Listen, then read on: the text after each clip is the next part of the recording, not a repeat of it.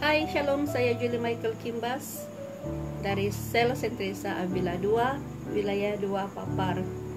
Saya merasa sangat-sangat bersyukur kepada Tuhan karena dapat menyertai pertandingan mencipta lagu rohani yang dianjurkan oleh distrik Kota Kinabalu.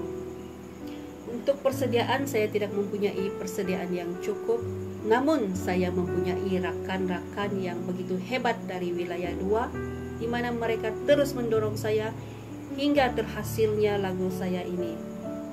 Irama dan lagu tidak dapat dipisahkan. Begitu juga dengan relasi kita dengan Tuhan.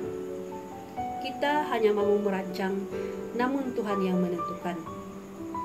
Saya percaya ada di antara kita yang menjadikan irama dan lagu itu sebagai terapi minda.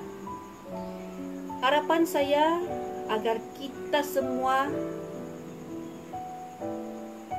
sentiasa diperbaharui. Dan harapan saya juga agar lagu yang tercipta ini mendapat tempat di hati kita semua.